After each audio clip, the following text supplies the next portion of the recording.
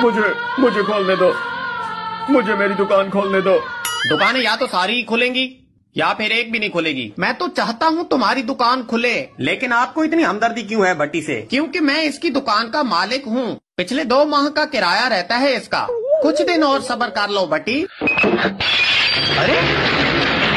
एक दिन भी सबर नहीं करूँगा। भूख से मर रहे हैं मेरे बच्चे। तुझे तेरे किराए की फ़िक्र है।